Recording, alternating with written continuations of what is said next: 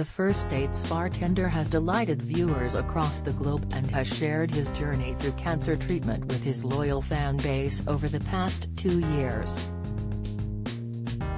In a delightful update yesterday, the 48-year-old revealed an email he had received, posting the screenshot on Instagram.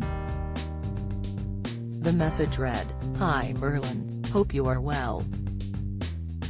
Your CT scan has just come through. All looks good, there are no signs of any reoccurrence. Hope this is reassuring. The Channel 4 star captioned the snap, final year 1 scan results are in, and it's all clear for now. Nice. Thank you NHS. Merlin was soon inundated with support and celebration from fans and celebrity friends alike. TV chef James Martin commented, Brilliant news fella just brilliant. See you at the house and stay for a glass or four. With the same enthusiasm, Merlin responded, Thank you James. You've been a big part of my positivity the last few years mate, with an emoji of clinking glasses. Don't miss.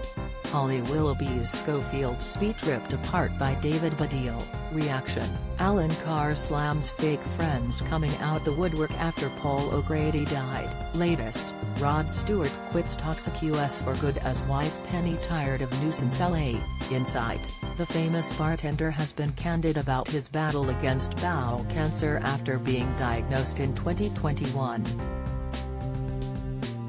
In April, Merlin appeared on ITV in a tell-all interview with Lorraine as part of the No Butts campaign which was started by the late Dame Deborah James.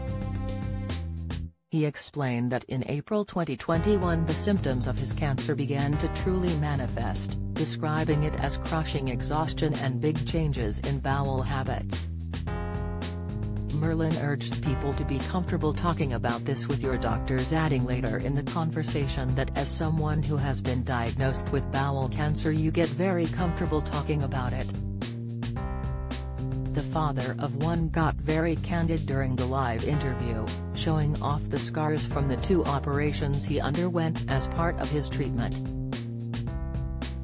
Merlin officially finished his treatment last year, with the latest updates being part of his one-year checkups.